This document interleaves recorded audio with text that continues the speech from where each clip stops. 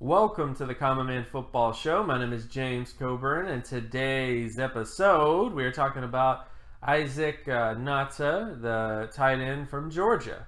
If you're new to the channel and new to the work that I do, all terms and definitions will be in the description. All that stuff out of the way, let's get to his production data. So first off, he had a 51.31 passing yardage market share production score. Uh, he doesn't quite hit the All Pro threshold of 70.27, but he does hit above the Pro Bowl threshold of 25.75.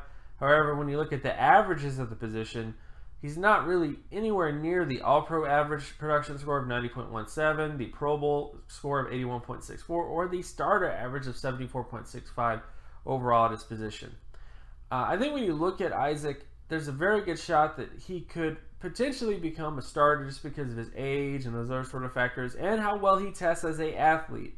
But overall, a very concerning profile. This is not a tight end that I think should be considered one of the best tight ends in this class.